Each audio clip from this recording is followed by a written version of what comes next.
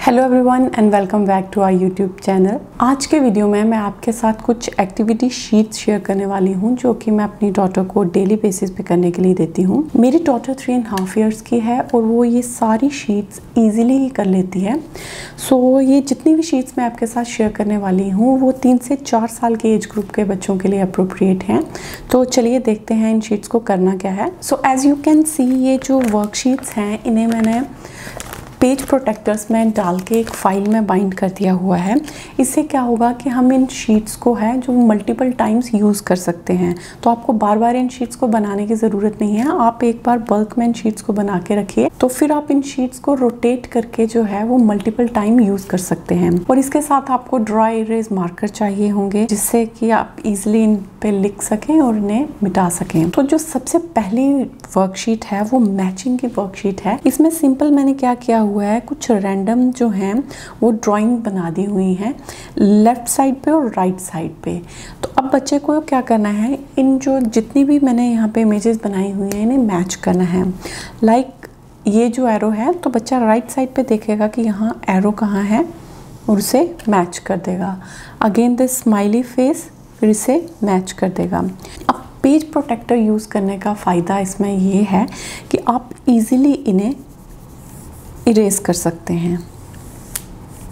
As you can see और आप इन्हें नेक्स्ट टाइम फिर यूज़ कर सकते हैं। बट यहाँ पे मैं आपको एक चीज़ कहूँगी कि आप डेली बच्चे को सेम शीट्स करने के लिए नहीं दीजिए। आप शीट्स को रोटेट करके दीजिए ताकि बच्चे का जो है वो इंटरेस्ट बना रहे।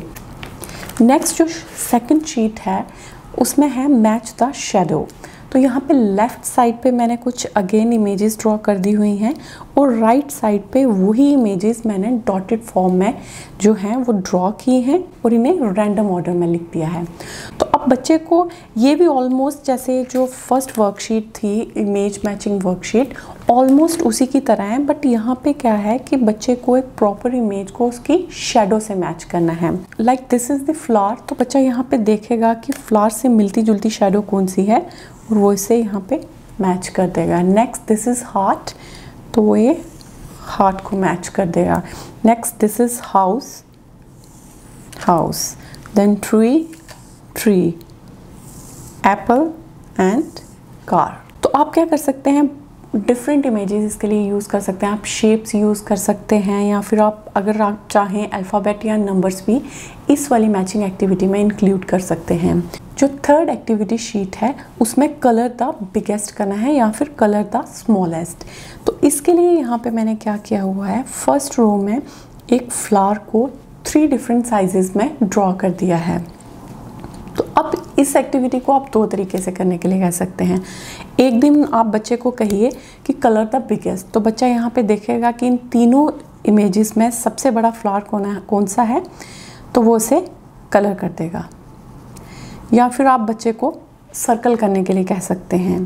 तो नेक्स्ट डे आप इस शीट को कैसे यूज़ कर सकते हैं? तो आप बच्चे को स्मॉलेस्ट कलर करने के लिए कह सकते हैं। लाइक like अगर ये ट्राइंगल यहाँ पे देखें तो आपको कहना है कि which is the smallest triangle colour it तो यहाँ पे बच्चा देखेगा कि तीन ट्राइंगल्स हैं तो सबसे छोटी ट्राइंगल कौन सी है?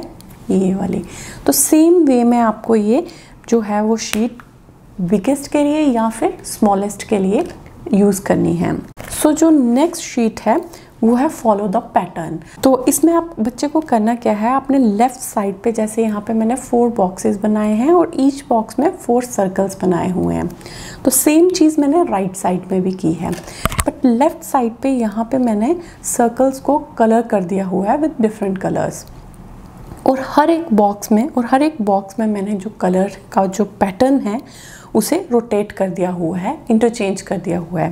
तो अब बच्चे को क्या करना है कि उसे इस इमेज को देख के यहाँ पे कॉपी करना है या फिर इस पैटर्न को फॉलो करना है। एग्ज़ाम्पल जैसे यहाँ पे जो फ़र्स्ट सर्कल है, वो कौन सा कलर है यहाँ पे? पर्पल तो बच्चा यहाँ पे पर्पल कलर कर देगा।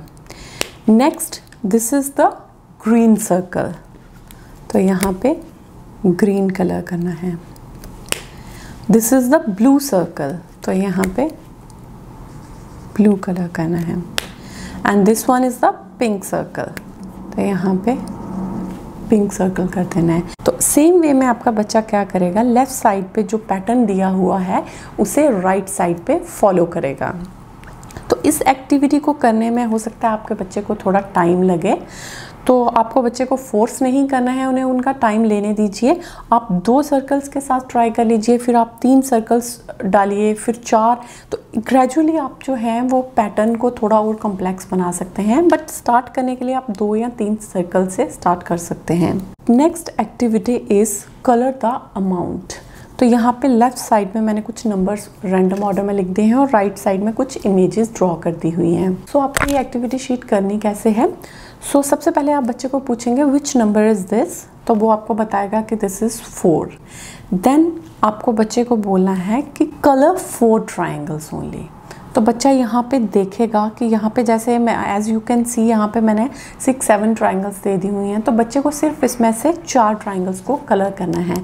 तो वो पहले काउंट करेगा लाइक like, कलर करता जाएगा और count one two three and four next this is two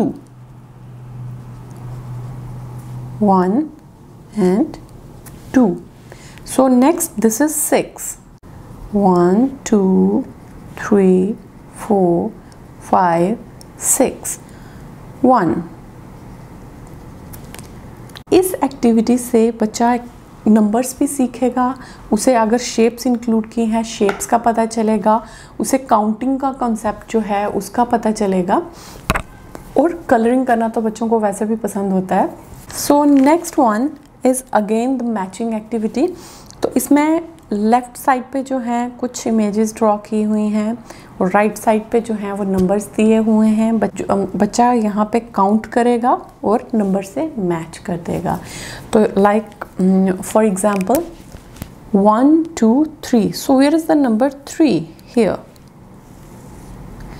one two so where is the number two here one two three four five six seven so where is the number seven तो same way में ये activity complete करनी है। Next जो activity है, इस activity में आपको क्या करना है कि बच्चे को थोड़ी हेल्प करना पड़ेगी क्योंकि तीन साल का बच्चा भी अच्छे से पढ़ तो सकता नहीं है। तो इसमें आप बच्चे को थोड़ा गाइड करते जाइए। तो यहाँ पे मैंने फोर शेप्स ड्रॉ की हैं। तो इसमें से बच्चा क्या करेगा? कि उसे स्क्वायर को फाइंड करना है और कलर करना है। और कलर कौन सा करना है? रेड कलर तो इसमें आपके बच्चे की शेप्स की प्रैक्टिस भी हो रही है कलर्स की प्रैक्टिस भी हो रही है सॉर्टिंग की प्रैक्टिस भी हो रही है तो बच्चा इसको रेड कलर कर देगा। Again next colour the triangle pink तो बच्चा पहले यहाँ पे देखेगा कि इन शेप्स में ट्राइंगल कौन सा है? ये ट्राइंगल है तो ट्राइंगल को पिंक कलर कर देना है। Next colour the heart blue. तो अगला ब्लू कलर आप बच्चे को दीजिए और उसे हार्ट को ब्लू कलर करने के लिए कहिए। तो सेम वे में आपको ये पूरी की पूरी एक्टिविटी करनी है। Next this one again is the shapes activity और अब जब बच्चे को बेसिक शेप्स का पता चल गया है, उसे शेप्स की अच्छे से पहचान है तो अब हम बच्चे को अगला कंसेप्ट है, जो शेप्स की साइड्स का जो कॉन्सेप्ट है, वो सिखाने के लिए, ये एक्टिविटी करने के लिए देंगे। तो यहाँ पे है हाउ मेनी साइड्स पहले मैंने यहाँ पे सर्कल ड्रॉ किया है और राइट साइड पे मैंने चार नंबर्स लिख दिए हुए हैं।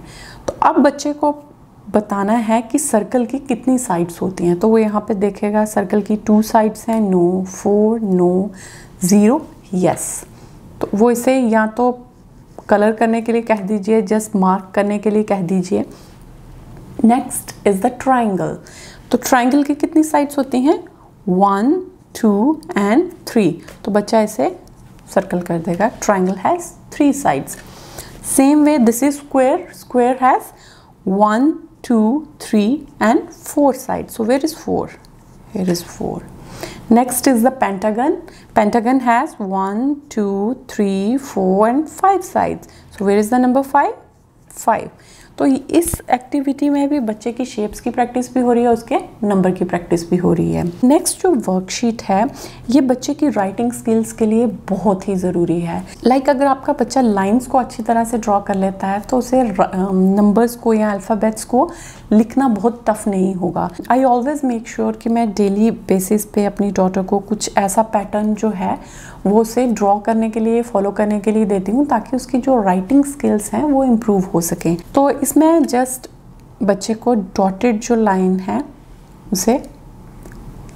फॉलो करना है। आप बच्चे को कहिए कि बिना हाथ छोड़े उसे इस पैटर्न को जो है वो फॉलो करना है। अगर बच्चे लाइन से बाहर भी जाते हैं like this and this it doesn't matter but आपको बच्चे को कहना है कि उसे बिना हाथ छोड़े इसे ड्रॉ करना है। तो कई बार मेरी डॉटर तो उसे इस तरीके से भी ड्रॉ कर देती है बट इट डजेंट मैटर पहले आप बच्चे का जो है उसे बिना हाथ छोड़े लिखना सिखाइए। जब उसे इस चीज़ की प्रैक्टिस हो जाएगी तो वो आराम से बच्चा स्लोली स्लोली जो है वो बिल्कुल डॉटेड लाइन डॉट्स को मिलाते हुए ये पूरा पैटर्न जो है वो फॉलो कर लेगा। तो सेम एक और पैटर्न मैंने यहाँ पे है ये। तो ये जो पैटर्न है इसमें एक स्लीपिंग लाइन और दो स्लैंटिंग लाइंस का है। तो ये भी बच्चे को बिना हाथ छोड़े वैसे ड्रॉ करना है।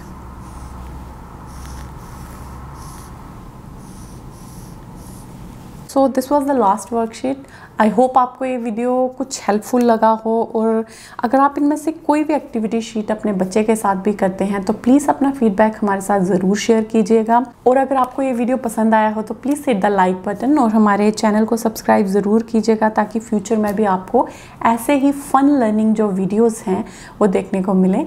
So thank you so much for watching